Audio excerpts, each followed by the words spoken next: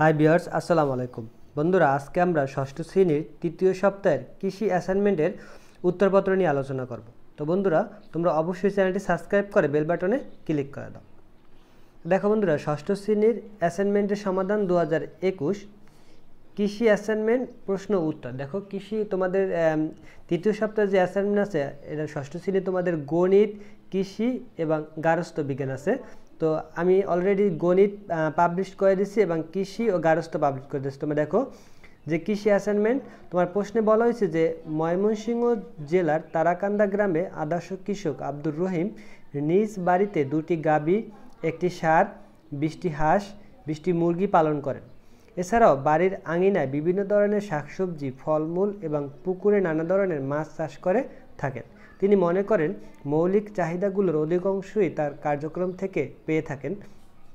তুমি কি দেখো বন্ধুরা, বলছে যে তিনি যে কাজগুলো করে থাকেন, আমাদের যে মৌলিক চাহিদা আছে, পাঁচটি, এই মৌলিক চাহিদার অধিকাংশ তিনি নিজের কৃষিকাজ থেকেই পেয়ে থাকেন। এটা তিনি বলছেন যে, মনে, তিনি মনে করেন মানুষের মৌলিক চাহিদাগুলো সবকয়টি কৃষি কার্যক্রমের মাধ্যমে পূরণ করা সম্ভব।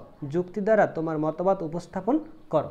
দেখো বন্ধুরা, বলা হয়েছে যে মানুষের যে চারটা মৌলিক, পাঁচটা মৌলিক চাহিদা আছে, এই মৌলিক চাহিদা আসলে কৃষির মাধ্যমে করা সম্ভব। এটা নিয়ে আসলে যুক্তি দিতে বলছে। তো আমরা দেখি যে উত্তরে কি বলা হয়েছে? দেখো, এখানে বলা হয়েছে যে বাংলাদেশ কৃষিভিত্তিক দেশ, আমাদের জীবনে কৃষির গুরুত্ব অনেক। কৃষি কাজ সারা পৃথিবীতে আদি, আধুনিক, অত্যন্ত সম্মানজনক পেশা। কেননা, এর মাধ্যমে পুরো বিশ্বের মানুষ খাবার খেয়ে বেঁচে থাকেন। আমাদের সব মৌলিক চাহিদাগুলো, যেমন খাদ্য, বস্ত্র, বাসস্থান, শিক্ষা ও চিকিৎসা, বিভিন্নভাবে কৃষিকাজের মাধ্যমে হয়ে থাকে। আদিকাল থেকে পূরণ করা হয়। তাই কৃষিকাজ ও শিল্পের পরিধি ব্যাপক ও বিস্তৃত। বন্ধুরা আসলে এখানে বুঝেছে যে আমাদের যে মৌলিক চাহিদাগুলো আছে, খাদ্য বস্ত্র বাসস্থান, শিক্ষা, চিকিৎসা, এগুলো অধিকাংশ আসলে এই কৃষিকাজের মাধ্যমে হয়। আমাদের মৌলিক চাহিদাগুলো পূরণের মাধ্যমে কৃষিকাজ ও কৃষি শিল্পের পরিধি ব্যাখ্যা করা হলো। দেখো বন্ধুরা, এখন আমাদের মৌলিক চাহিদা এই যে কিসের মাধ্যমে হয়, এটা আসলে মৌলিক চাহিদাগুলো ব্যাখ্যা করা হলো।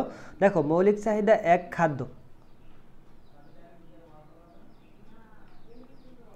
দেখো, খাদ্য মানুষের মৌলিক চাহিদাগুলোর অন্যতম হলো খাদ্য। কৃষি আমাদের খাবারের যোগান দেয়। আমাদের দৈনন্দিন জীবনে প্রয়োজনীয় প্রধান খাদ্য হলো চাল।